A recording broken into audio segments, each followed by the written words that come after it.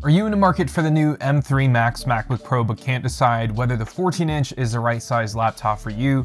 Or maybe you're thinking the bigger display on the 16 inch will suit you better. Well, hopefully this video helps you decide whether you should go all in on the 16 inch M3 Max or the 14 inch M3 Max. Now we do have both laptops and I have the M3 Max 16 core CPU with 40 core GPUs, uh, 64 gigs of RAM, and the 14 inch actually has a two terabyte drive while the 16 inch that I have right here has a bigger four terabyte drive. Uh, but just to give you guys a quick speed test on both of these machines, just so you guys know that, you know, whether going for a bigger drive gives you, you know, better performance, and well, it's roughly about the same. So Difference between the 2 terabyte and 4 terabyte option, not much performance gains there if you go for a bigger drive. But just know that these SSDs are extremely fast, but also very pricey. Now, this is actually my first time using the all-new M3 Max MacBook Pros, and I actually have a personal M3 Pro 16-inch MacBook Pro that I made a video on not too long ago, and I'll leave that link down below that like button if you guys do want to watch that video. Uh, but before we compare both M3 Max machines, let's quickly compare the 16-inch M3 Pro to the 16-inch M3 Max in case you guys are curious on performance and battery. Uh, the M3 Pro 16-inch MacBook Pro got a single core score of 3,180 and a multi-core score of 15,380. Now the M3 Max got a single core score of 3,200, which is pretty much on par with the M3 Pro. But when it comes to multi-core, the M3 Max scored a hefty 21,048, which is about a 40% increase in performance. But when it comes to battery life though, the M3 Pro is a little bit more efficient for everyday tasks and can get you roughly about 15% more battery life compared to the M3 Max variant. But going back to the 14 inch and 16 inch M3 Max, let's compare both and figure out what does what better and what the differences are. So let's talk about the display first. Uh, in my opinion, the 14 inch MacBook Pro is a good middle ground where it's not too small, but also not too big either. It has pretty slim bezels all around, plus you get that liquid Retina XDR display that has a standard brightness at 600 nits that can get up to 1600 nits peak brightness.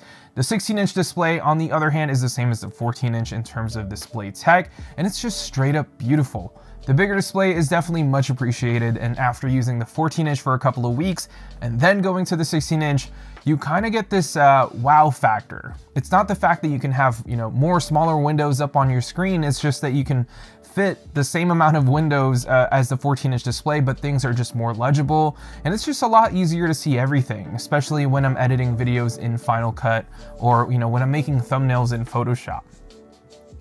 Moving on to the speakers, and I'll play some samples in a bit. I've always said that MacBook speakers are the gold standard when it comes to laptop speakers, and these two just don't disappoint. While the 14 inch sounds great, take a listen.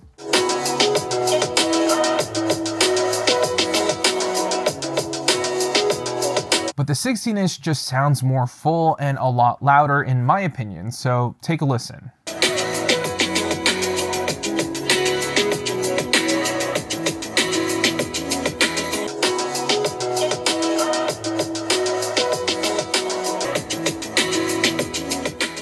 Now you may not be able to tell from this video, but in person the 16 inch is more full, it gets louder, and has this uh, thump feeling when bass heavy songs are playing.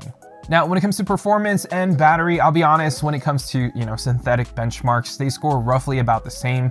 So in Geekbench 6, like we said earlier, the 16-inch MacBook Pro scored uh, 3,234 for its single core score and 21,048 for its multi-core score. And when it comes to its metal score, the 16-inch MacBook Pro got 155,769.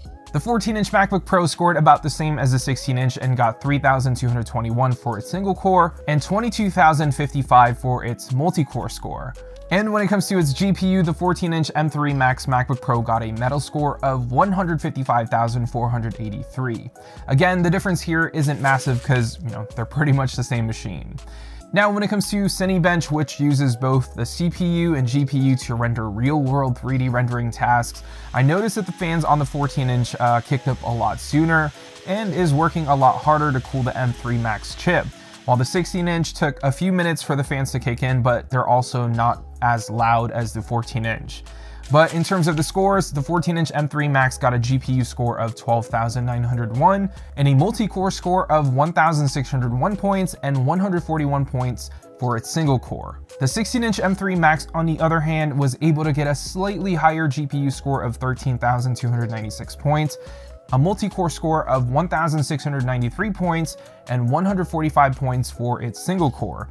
Again, just like Geekbench Performance, it's relatively similar between these two machines, uh, with about 2 to 3% difference between these two machines, but not anything that you'd really notice on a daily basis. And when it comes to gaming, I actually downloaded the new Resident Evil 4 for macOS here on both machines and did not notice a difference in performance. For the M3 Max, the recommended settings for Resident Evil 4 uh, is to toggle prioritize graphics preset, uh, set metal effects upscaling to quality, and the resolution somewhere around 2992 by 1870. Now this will get you constant 60 frames per second, which is really cool to see on a Mac, and I can go way deeper into Mac gaming on a separate video if you guys want. But as a gamer myself, I can't wait till more developers port over their AAA games on the Mac. So, you know, I only have to carry my laptop and a controller whenever I have to travel, so, you know, I can leave my handhelds at home. But yeah, Resident Evil 4, as good as it looked, worked really well, and like I said, I'm hoping we see more modern games get ported to the Mac, because That'll be a total game changer in my opinion. Now, I also threw a 10 minute 4K project in Final Cut Pro on these two laptops with the same timeline, plugins, and color grading on every clip, and both actually rendered the timeline about the same time in about 3 minutes and 25 seconds, and exported the video at 7 minutes and 12 seconds for a 10 minute and 43 second video in H.264 in 4K. So for a video creator like myself, I didn't really notice any improvements on the bigger machine. And then when it comes to its battery, this is where the 16 inch actually shines the most. The bigger battery is much, much more noticeable here, where the 16 inch can last nearly about an hour and a half, maybe two hours in the 14 inch. And if you're doing a ton of video editing, having you know multiple apps open at once, and the CPU and the GPU is working a ton, you can easily drain the battery in a matter of hours. Like three and a half to four hours on the 16 inch MacBook Pro and about two hours on the 14 inch. But if you're just using these laptops for, you know, light video editing, you're browsing the web or you're working on, you know, Word documents or just watching videos, the battery life is actually pretty incredible and can easily last more than 10 hours on a single charge on the 14 inch and about 14 hours on the 16 inch, at least from my experience. So you're probably thinking to yourself, the 16 inch is actually a much better buy here and it's worth that $300? Well, it really depends on what you prioritize, and here's what I think you should consider when deciding what size to pick up. If you're the type of person who's always commuting, you're always traveling with your laptops, you, you know, you're always on the go, you're gonna notice the weight and size of that 16-inch MacBook Pro. While the display size and the speakers are amazing, it's gonna be a pain in the butt to travel with that 16-inch MacBook Pro. Trust me, I've taken over 37 flights in 2023 and flown over 80,000 miles, and the difference between the 16-inch MacBook Pro and the 14-inch is a night and day difference, and your back will thank you. The 16-inch MacBook Pro is technically portable, but it's more of a desktop replacement in my opinion. But I will say that extra screen real estate goes a long way, especially if you rarely connect to an external monitor. And after using the 14 inch for a few weeks and then using the 16 inch after that, I was like, dang, this bigger screen is really nice. But then I carried it around the house, I took it to a coffee shop, and man, yeah, that weight can be a little bit much for some people. So at the end of the day, which one should you go with? Now, I personally love the size of the 16 inch display, but since both machines actually perform about the same, I'll take the loss in battery life and you know display size and speaker quality in exchange for that slimmer profile and much lighter machine overall. As much as I enjoy, you know, and appreciate the bigger display and that longer battery life on the 16-inch MacBook Pro, I travel way too much to really appreciate the best of the best from Apple.